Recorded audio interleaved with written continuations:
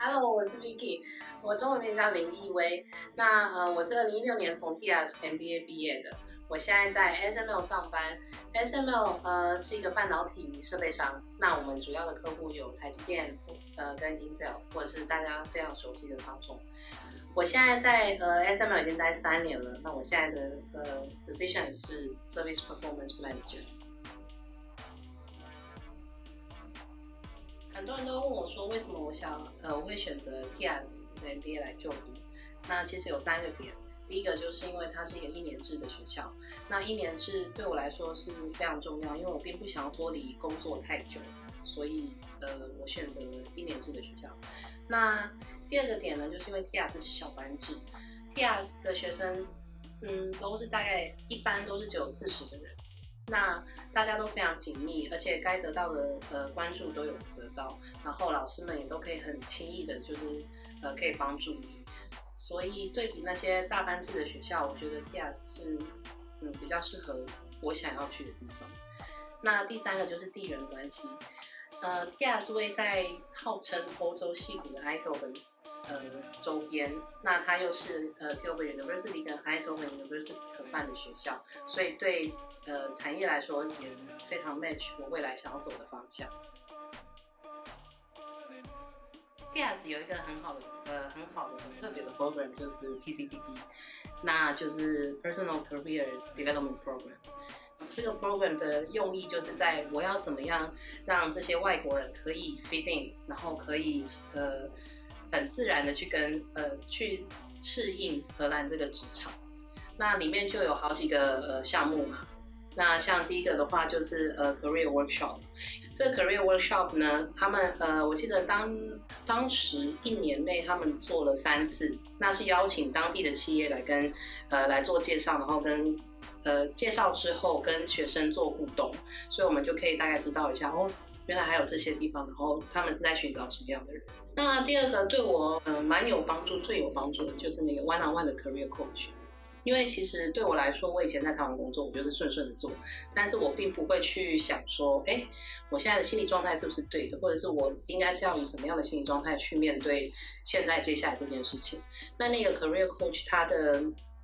呃，他的用意就是要让我开始了解自己，然后开始去想说，哎，我未来其实想做什么？那如果我要达到那个程度的话，我应该可以做什么样的努力去达到那个地方？再来就不外乎是那个 career center 嘛。那当然，我们就是有每个人都有一个呃 career consultant，那就是学校的 consultant。那呃，我们是随时都可以走进他们的办公室，然后呃，请他们看我们的 CV 啊，或者是请他们给我们一个方向，说，哎，你觉得我的经历到目前为止是这样子，那未来可能有什么方向可以走？因为其实很多同学在 MBA 里面是想要转行，对，但是其实在那个当下可能也不知道怎么办。那像他们就可以给你一个比较好的方向。然后再来的话呢，就是我觉得蛮重要是 internship。因为其实我在现在来 ASML 之前，我在 Bosch 做过 intern，我做了六个月。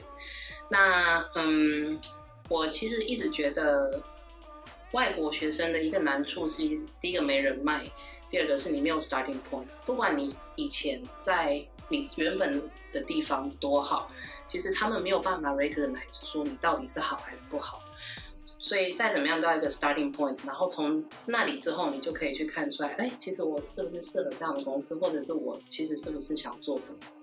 所以呃，我觉得 intern 很重要。那当时 TS 也给了一个这样的空间，所以我当时也蛮幸运的，就是可以去 b o s 做了 intern 做六个月。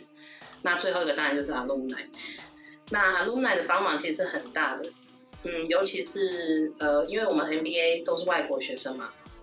那隔壁我们有 EMBA 的学生。那 EMBA 学生就现在还在业界上班的学生，那其实他们是很帮忙，因为他们就是对我们来说，他们也看我们是同学是后辈，所以就是有时候下课在 Coffee Corner 会聊个天啊，或者是我们可以一起参加 event。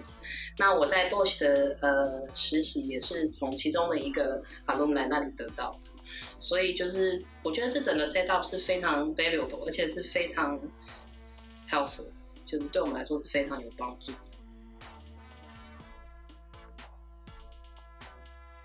学校的课程它就分六期，第一期的话呢，就是呃硬知识，像是统计啊、会计啊、呃数学这一些东西。那从第二期开始，他就慢慢走向比较开放，然后比较呃活泼的方式，那就着重在呃 presentation 啊、小组工作跟 project work。那因为我们嗯，我们学校当时我那一届的话，嗯，四十个学生里面大概有十七国的学生，所以其实那也是一个呃 push 国际交流的方法。所以在那里面，我们也学到了很多呃不一样呃文化来的经验，或者是不一样文化的冲击。那我觉得这些都是非常呃 valuable。好，给学弟妹的建议有三点。第一点呢，就是要 speak up；第二点呢，就是要 open minded；第三点呢，就是害羞是 no no，你一定要去跟呃当地人或者是要跟同学好好的相处，然后你真的会学到很多。